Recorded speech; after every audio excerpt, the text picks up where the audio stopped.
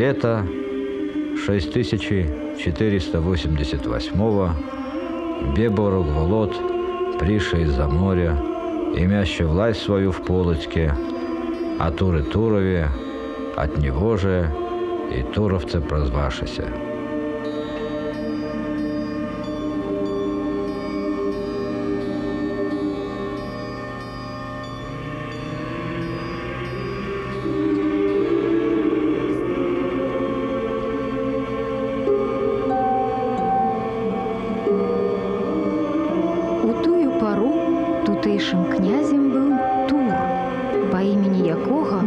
горад атрымаў сваю назву.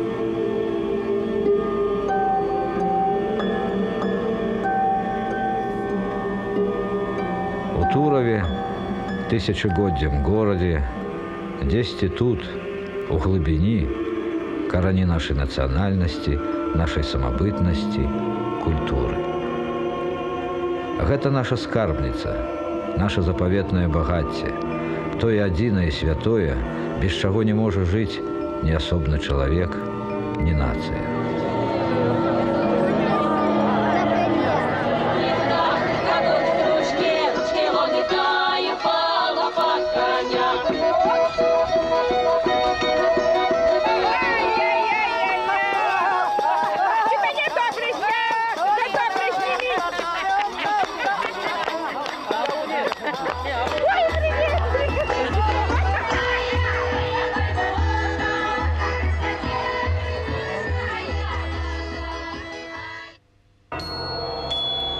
Чалавек заселіў в аколіцы Турова некалькі дзясяткаў тысяч гадоў назад. Дзякуючы свайму выгаднаму становішчу, на стыку розных водных шляхоў горад хутка рос. У старажытным горадзе існавала каля 80 церкваў, тры сінагогі і пяць малітвенных дамоў.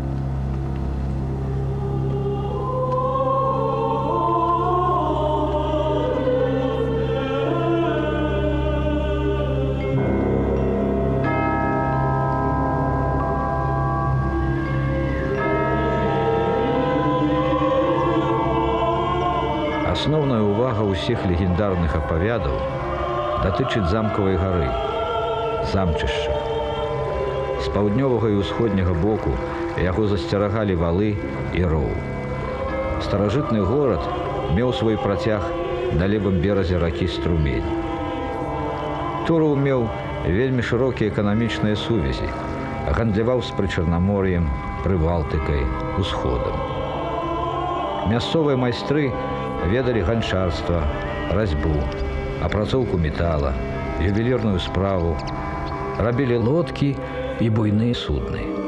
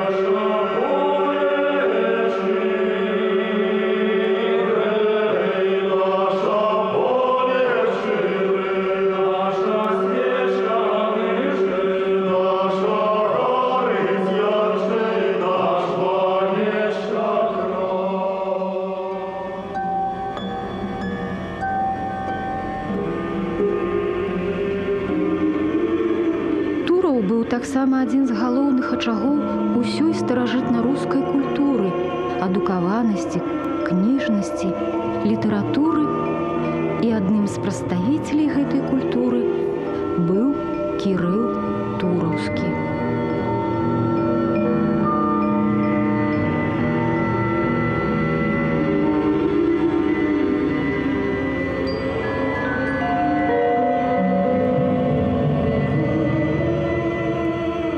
Молю всех христиан и благоверных чернорисцев, и преподобных иереев, и весь возраст христианского рода, отцы и братья, и господа, кто из вас увидит это мое написанное, не порицайте меня грубости ради, но помолитесь обо мне и всех владыке Богу, дабы принял отпущение многих моих зол, грешный, ибо я человек, и многих молитв нуждаюсь воистину, дабы владыку милостивого обрести. Кірыл Тураўскі гонар усёй старажытна-рускай культуры, усёй нашай літаратуры. Лірызм апавядання Кірыла, паэтычнасць яго твораў здзіўляюць нават тых, што не ведаюць і ніколі не вывучалі старарускай мовы, на якой пісаў Кірыла. Сучаснікі называлі яго златоустам паче всех высіявшых нам на Русі. наследие его большое. Еще мы не до конца его изучили и осознали, что значит молитва в жизни человека, что значит молитва в жизни народа.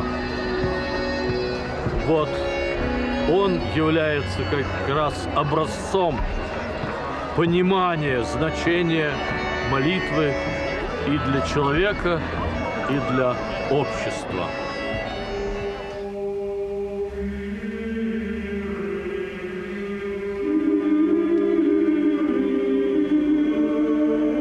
Боже естеством, Отче милости, нищ и убог есть аз. Призываю чаюдно и святое имя Твое, и прошу милости от Тебе, Отче, и Сыне, и Святой Душе. Ты обо мне, если Бог один безгрешен, живота и смерти имя власть. Избави меня от всякой стрелы, летящей во дне, от сряща и беса полуденного. Яко благословен еси с Отцом и со Святым Духом ныне, и присно во веки веков. Аминь.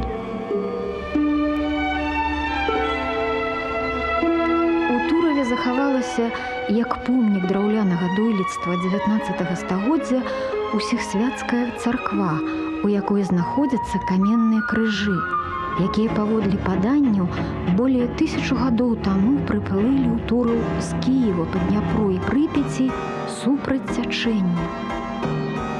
Калі людзі іх убачылі і вынеслі на бераг, вада ў рацэ зрабілася колера крыві. У народзе іх завуць бацька і маці. Але ў тураве ёсць яшчэ адзін малы крыж, што з зямлі ўжо 15 гадоў расце. Яго сынам клічуць. Паломнікі едуць да яго з усіх канцоў свету. Ён расце кожны год на 3 сантиметры.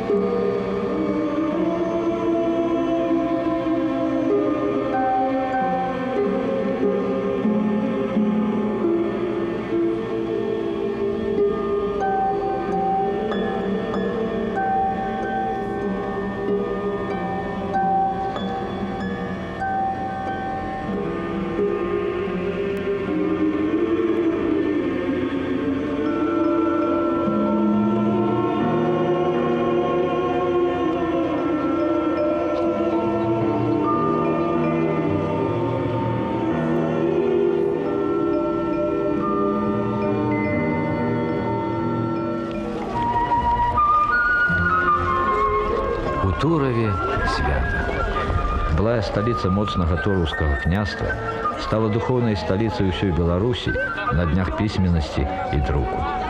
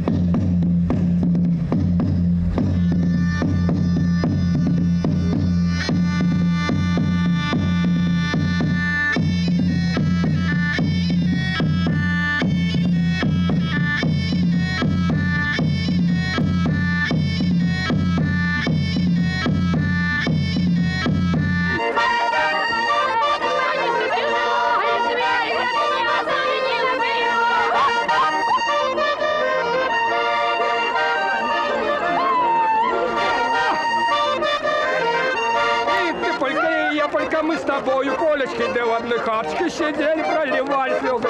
Меня мама за дивана подняла поленом. Я заплакала, сказал, хочу пей, буду любить.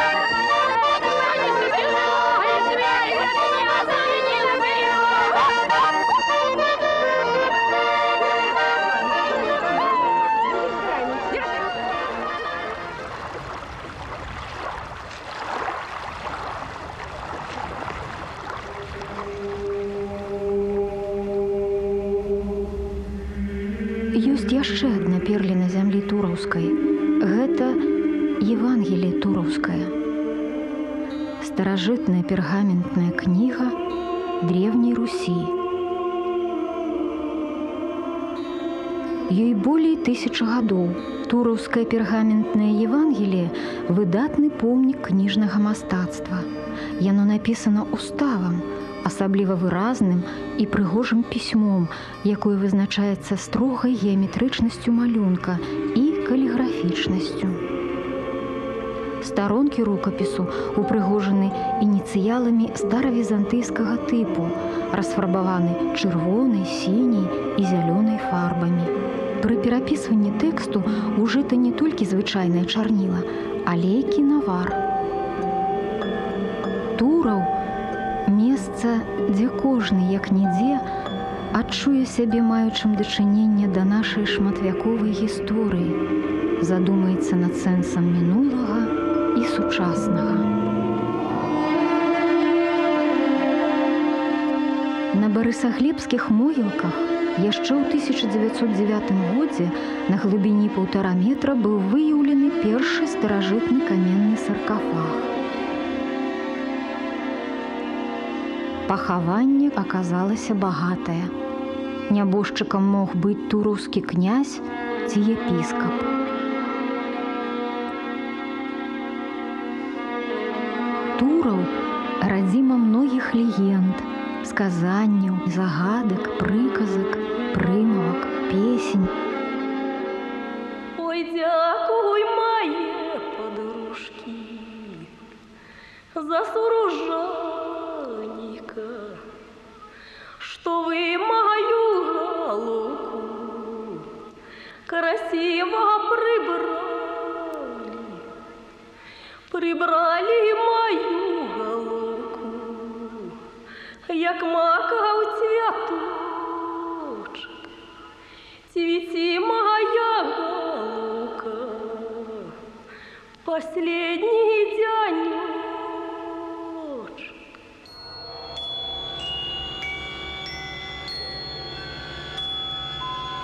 В другой палове 12 стагоддзя турускае княства, на чале якога стаялі сыны вялікіх князёў кіеўскіх, страчвае сваё былое палітычнае значэнне.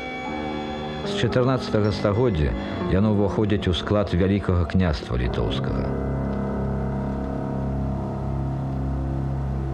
У 1502 і 1521 годах на Тураў напалі татары. У 17 стагоддзі горад падвяргаўся неаднаразова захопам і апусташэннем. У 18 стагоддзі Тураў становіцца графствам. У 1793 годзе у выніку другога падзелу рэчы паспалітай Турушчына ўвайшла ў склад расійскай імперыі. Тады ў горадзе было каля 500 дамоў. Ён меў больш за тры вярсты ў даўжыню і звыш вярсты ў шырыню. Велізарны пажар у 1834 годзе знішчыў амаль усе царквы і дамы ў тураве.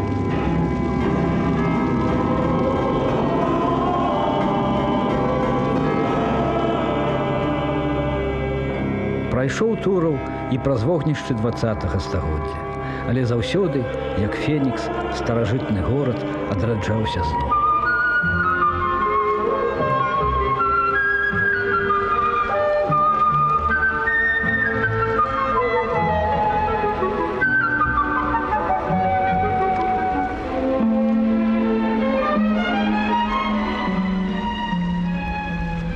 У канцы 19 стагоддзя распачаліся спецыяльныя даследаванні замчышча. З таго часу раскопкі тут вядуцца рэгулярна. Вучоным удалося выявіць тут рэшткі шматлікіх драўляных будынкаў, каменнага храма, знайсці прадметы матэрыяльнай культуры. У культурных слаях старажытнага горада аказалася захаваная ўся гісторыя.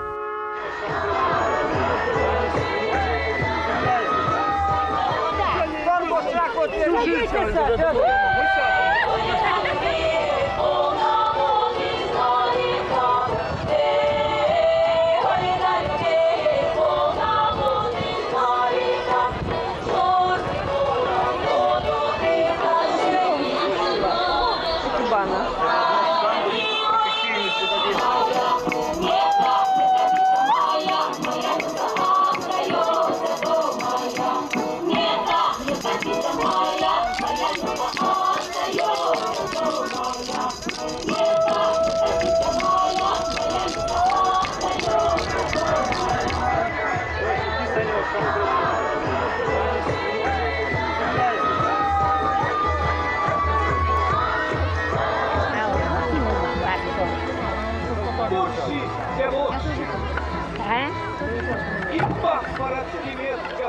сьогодні закинули як літочку.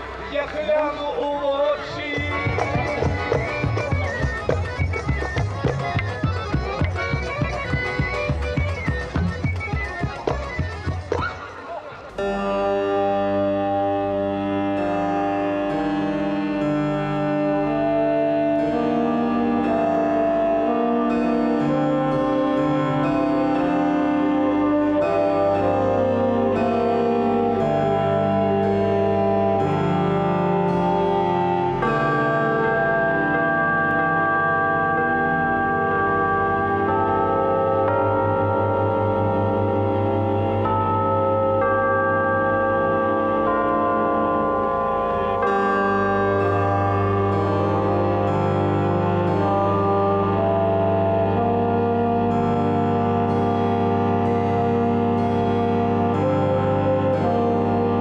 же Боже, моему Турову веру и славу былую вернуть. Дай же, Божа, народу Беларусі, добра і міру і памяці гістарычна не губляць ніколі. Дай Божа, розуму нашаму быць светлым, а здароўю моцным, нашим хатам шмат дзетак, хлеба і песень у волю. Ды хай жа так і будзе заўсёды на Беларусі. Амінь.